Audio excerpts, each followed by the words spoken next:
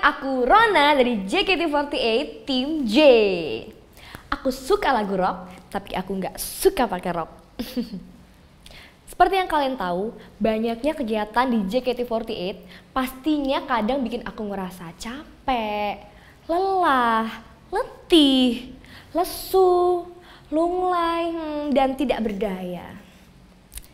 Nah, makanya biar aku kembali semangat dan aku kembali bangkit buat menghibur kalian semua, aku butuh kerokan. Lihat tuh, tuh kerokan, kelihatan nggak? Hmm, tapi siapa ya yang mau kerokin aku? Hmm, kerokan. Kembalikan Rona ke depan.